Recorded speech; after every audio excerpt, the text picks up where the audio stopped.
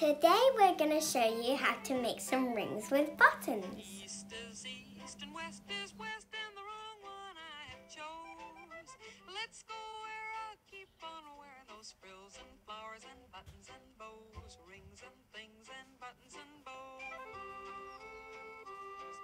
You can make fun oversized rings with a selection of buttons, but you can also use other items like odd earrings. This is a toy for a cat, but the others are vintage buttons or new buttons.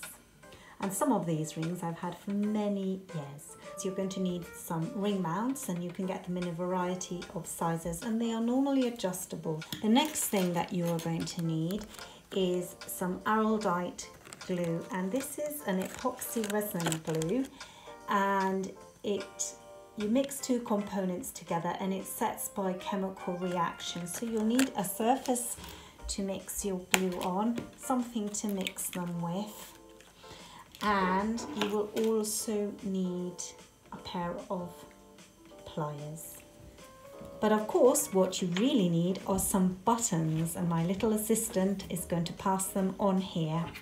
So I've chosen these two to combine together. And have you chosen some that I can combine together? Yes.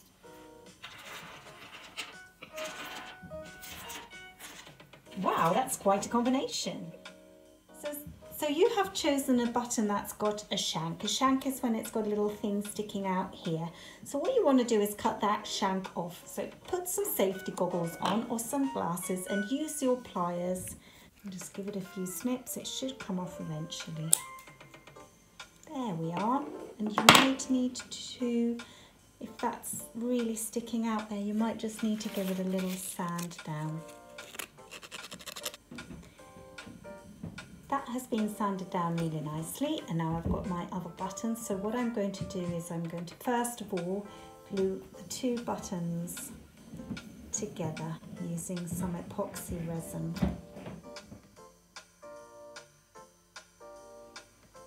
To, I'm going to use two kind of glues. To glue together the top parts like that, I'm going to use a quick setting epoxy resin glue like this.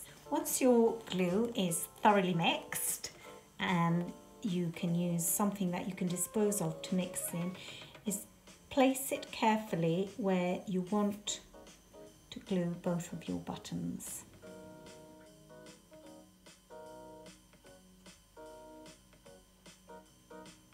And you're just going to let that to set for about an hour or so before you put the back on it.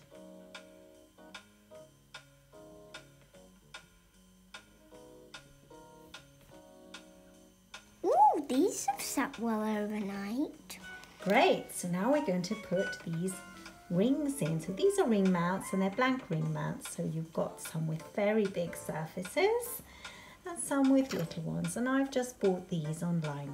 So you need to make sure that you match up right top with the right ring mount, that it doesn't stand out. So we're going to mix some glue again. And I'm going to go for the the Araldite Slow Setting Glue because I think it's a bit more resistant. Araldite glue is quite messy and if you get it on your skin, you can clean it off with vinegar. Are you going to help me to do the mixing? Yes. Once your epoxy resin glue is mixed thoroughly, what is very useful I have found is to work on top of a plate or a tray. So I've got just this lid here of a, a box. And what you want to do is because the, the glue takes a long time to set, you want to use some Blu Tack. And you just want to Blu Tack the ring upside down.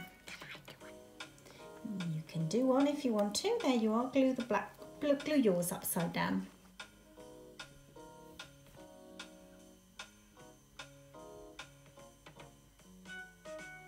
Now what you need to do when you've glued them upside down is just need to make sure that they are completely flat. Now that means that when you stick the ring mount on, it doesn't slide off or it doesn't go off center because the glue takes almost like 24 hours to set. So I'm just going to put the, the glue in the mount.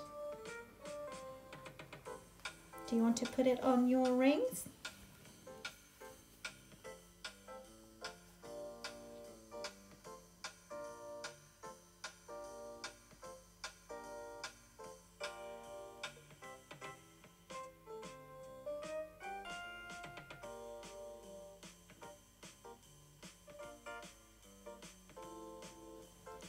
Double check that they are in place and leave to set overnight. And tomorrow we will have the reveal. Shall we see what these look like? Yes, let's do it. Take the Blu Tack away. Wow, that's lovely. Let's see this one. Ooh.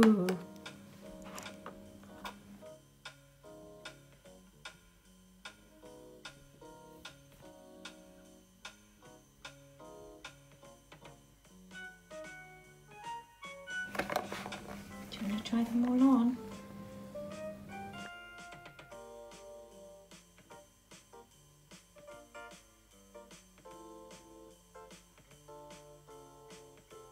Ooh, so cool!